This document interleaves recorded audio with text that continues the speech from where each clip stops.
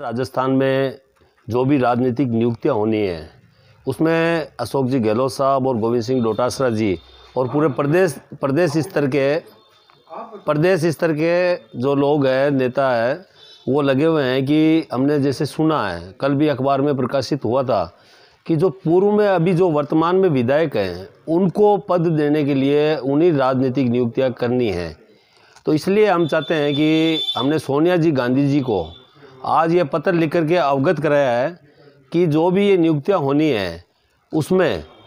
वर्तमान जो विधायक या मंत्री परिषद है गण, उनको निगम, बोर्ड, आयोग कहीं भी डबल भार नहीं दिया जाए, बल्कि जो लोग चुनाव हार चुके हैं, कांग्रेस पार्टी के वरिष्ठ लोग थे, उनको इनमें भागीदारी मिले, उनको आयोग, बोर्ड और निगम और